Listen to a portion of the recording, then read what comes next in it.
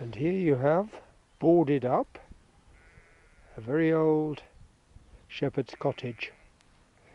I think they have another way of taking care of sheep nowadays, so the shepherds lost their uh, vocation. Lots of bird calls, lovely little brook down there as you see, and otherwise just animals, no people, apart from me. Correction, this is not a shepherd's cottage, this is a boarded up railway cottage. A railway cottage. We're coming alongside a disused railway now. So, but regardless, it's a long time since that's been lived in. And I'm competing with the sheep for this track. And here's a bridge over the dismantled railway.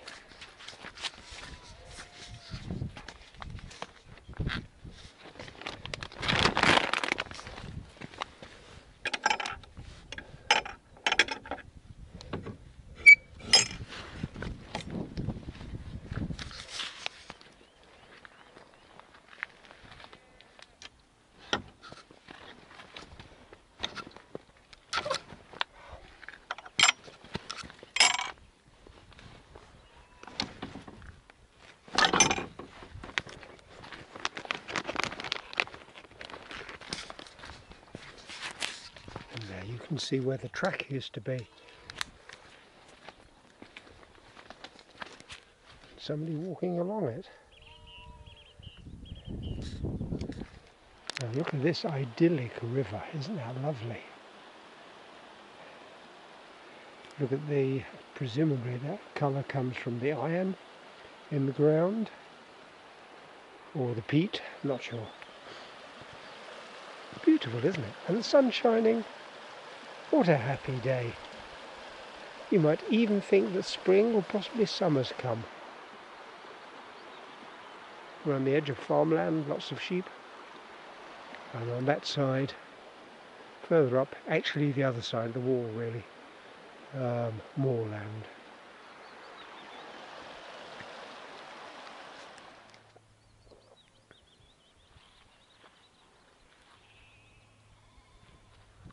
Dry stone wall, a speciality, I think in England, I don't think you get them abroad. Stones made without any mortar or anything to stick them together or keep them together.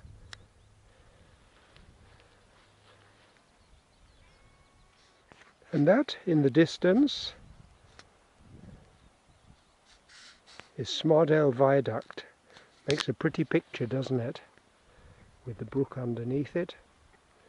Uh, presumably you can walk over that viaduct because I saw two people walking along the disused railway line. So they must have come that way.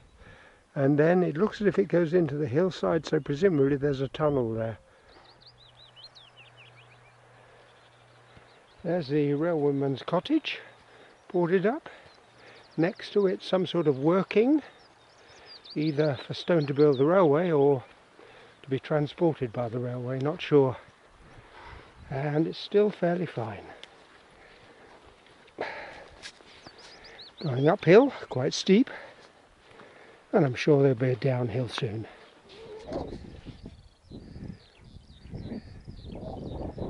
Good view from up here. It's raining over there on the horizon. As long as it stays over there, I'll be happy.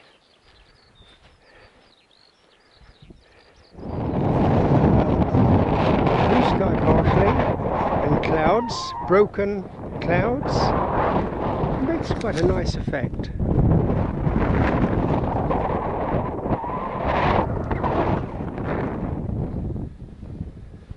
And I'm now going down into this gully and beyond that is the road leading into, first of all there's a farm, then a road leading into um, Kirkby Stephen, destination for today.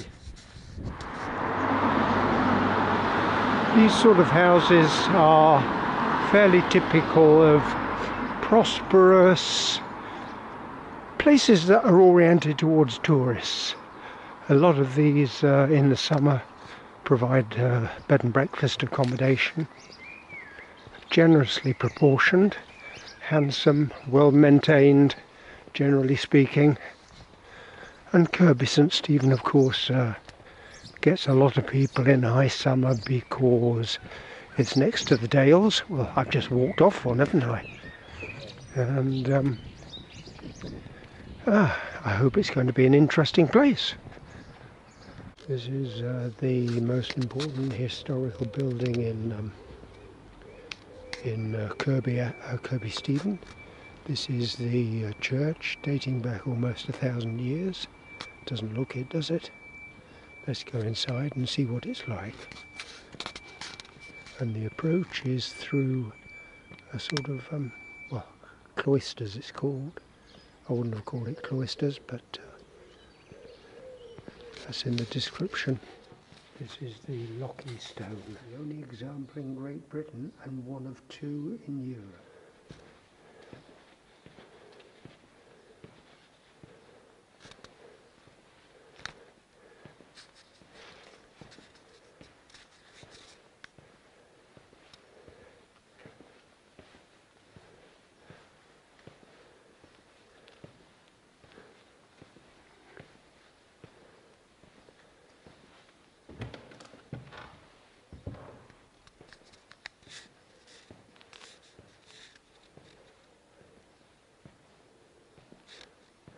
Beautiful pulpit.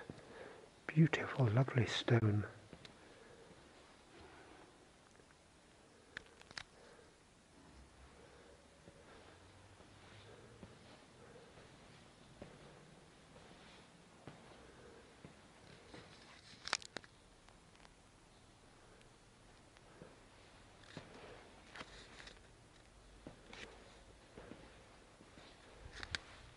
aged a hundred.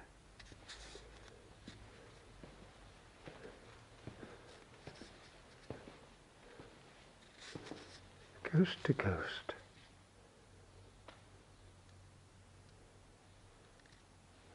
And we are here, Kirkby Stephen.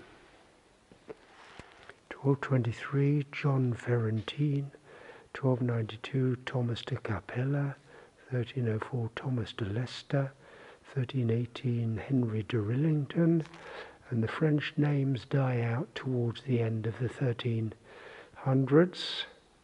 After 1386 there isn't any French name anymore. 1620 the Commonwealth. When uh, King Charles I was executed and uh, Oliver Cromwell took over and going through 1600s, 1700s, 1800s, 1900s and currently the vicar is Carol Marsden. So this is Frank's Bridge. This is the second most important uh, historical uh, construction in um, in Kirkby Stephen. Frank's Bridge. Frank is supposed to have been a uh, brewery owner in the 1700s, but of course it's all hearsay. Nobody really knows. But it's a very pleasant bridge and it's a very pleasant river and apparently it's got a lot of uh, interesting wildlife.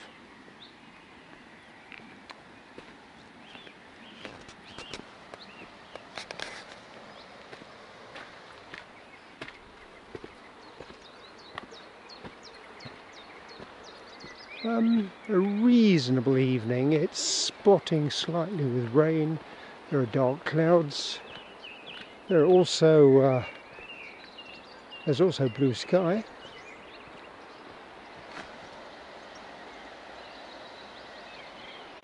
So we should be grateful.